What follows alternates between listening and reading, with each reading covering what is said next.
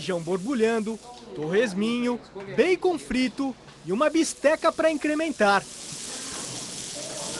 Mesmo que os nutricionistas não recomendem o consumo excessivo de alimentos pesados, muitos brasileiros não abrem mão de uma suculenta e tradicional feijoada de sábado, até num dia quente como hoje. O primeiro prato é exagerado, o segundo é mais comedido. Durante a semana a gente queima toda essa caloria adquirida, não tem problema.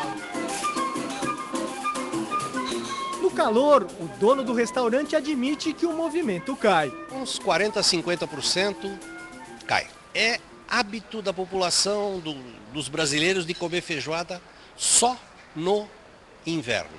Comer alimentos calóricos em dias quentes dá aquela sensação de sonolência, indisposição, moleza, alerta a professora de nutrição.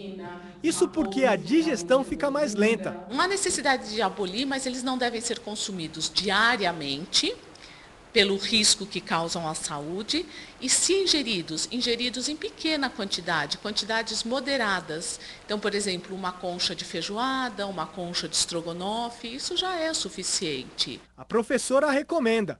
Nessa época do ano, o ideal é comer frutas, verduras e legumes, de preferência também as carnes magras e massas.